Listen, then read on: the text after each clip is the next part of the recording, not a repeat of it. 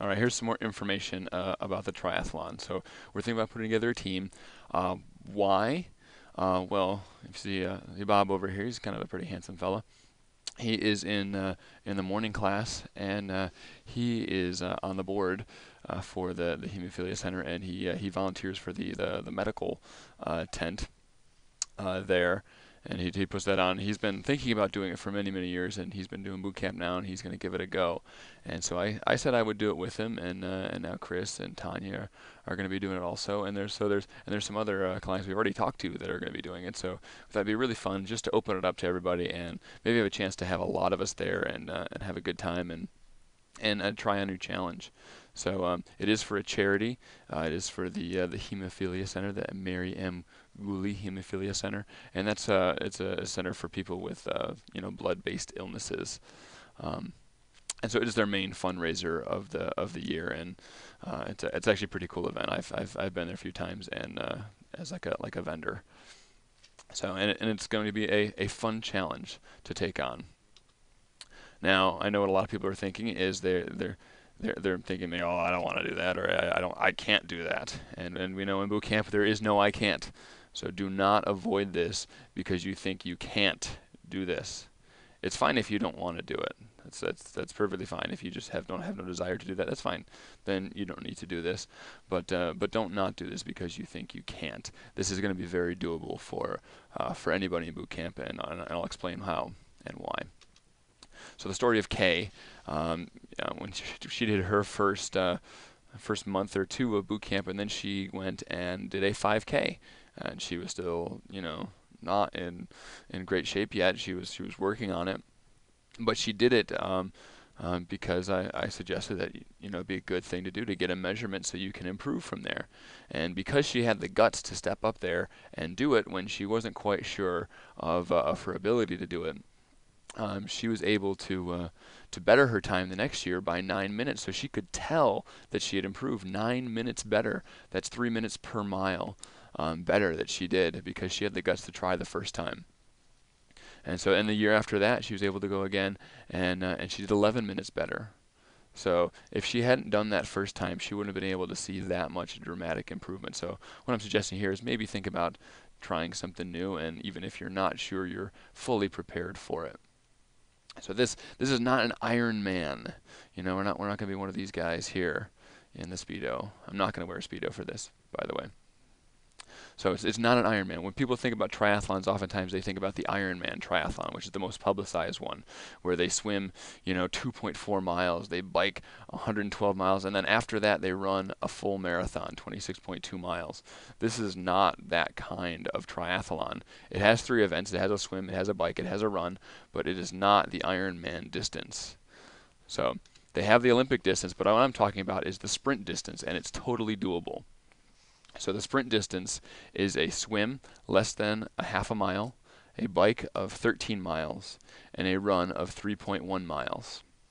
Now the reason why this is totally doable, because some of you may be thinking, well, that still sounds like a lot of stuff to do, um, and it is. It's still going to be a, a, a, challenge to do. A, you finish off with a 5K uh, in this in this event, but you know uh, you can actually divide this up. We can actually set up some relay teams where one person does the swim, one person does the bike, and one person does the run.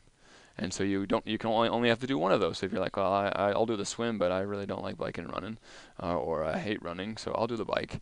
You know, so you can you can find some people, and what you can do is you can contact us if you're wanting to do that, but you don't have any people to do it along with, and we'll try to see if we can uh, put up some teams too. So you can do it all yourself. Um, uh, I'm going to be going through all those uh, myself. I actually I'm um, not a strong swimmer. I don't own a bike and I don't like running. So, so this is going to fit me perfectly to do this, but you know I'm doing it because it's going to be a neat challenge and a different experience. So so I'm going to uh, I'm going to work on the run. I'm going to swim in the pool, and I am going to rent a bike on that day. So I won't be practicing the biking a whole lot. So join if you want. Uh, we'd love to have you. Um, it'll be fun, uh, and we can even uh, train together a few times. You know, maybe some runs, or you know, some of you guys can go bike, but I I, I, I could run alongside your bike maybe. Um, and maybe we could we can get a T-shirt together. It'd be really fun. I was thinking maybe tall trainer fitness boot campers try hard. I thought that'd be kind of that'd be kind of a fun little title. But we can come up with something different too if that's too terrible. So, um, uh, also Bob has offered his uh, his place by the lake to to practice swimming in the water there. Uh, so let me go into show you the site so you can figure out how to how to sign up here. So if you go to the follow the link there, it's got the register now. It's got some information about the event, about the distances, about the relays, and things like that. And so you can go to register now. If you go to register now, it'll take you over to this page which asks you which race do you want to do. So you're not going to be able to sign up uh, until you kind of have a relay team if you're going to be doing a relay. But we do need to try to sign up really quick because this is going to fill up really, really fast. So so let's see if we can contact us really quick and uh, see if we get this together and you guys can sign up for relay. So it does cost money to do this. If you look over here, you got the uh, you know, for most of us, we're going to be in the in the non-USA triathlon member because we don't do triathlons all the time. So it would be it would be $82 for the sprint uh, non-USA tri uh, triathlon member. So it is a fundraiser. This is a donation uh, that is going towards the the hemophilia center. So uh, re remember that if you think it uh, it is if it's a lot of money, um, it is it is for charity. So so you can you can sign up there and. Um, and that's a swim, the bike, and the run. And so, so if you're going to do the whole thing yourself, you click on sprint, and um, it's got a bunch of information uh, on farther, so you could probably should probably read some of this. It's got uh, the contact information. It's got a, uh, a li liability waivers there because, um, well, I mean it's a, it's a it's a challenging thing, and anytime you know people have you are doing anything outside or anything physically demanding, uh, there are risks, and so they want to make sure that they're they're protecting themselves. So if you click through the next page, it'll get you to the uh, uh, just some extra stuff: emergency contact, t-shirt size. Um, how'd you hear about the race, and then you go to the payment. And I think it's going to be pretty cool. I think it'll be something fun, a, uh, a good challenge, and um, I guess a good way to cap off the summer. So, so consider doing it. And if you're if you're ready to sign up as uh, doing it on uh, you know doing the whole thing yourself, go ahead and sign up. If you if you need to talk to some people, get get some other people around, get them together, and then and then sign yourselves up for the uh, for the team thing. You're probably going to need um, you know multiple people's information for uh, for that one um, at the same time. So make sure you have those that information together. Sign up your team, and if you need a team, uh, contact us, and we'll uh, and we'll try to put that together.